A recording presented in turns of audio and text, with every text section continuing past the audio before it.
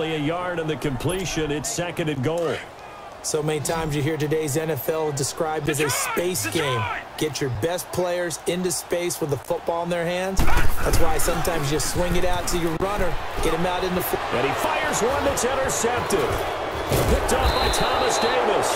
And a short return will be stopped inside at the eight-yard line. Holding.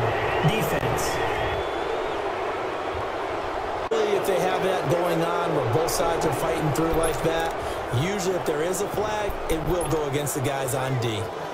So now then the penalty's got him set up with a first and goal.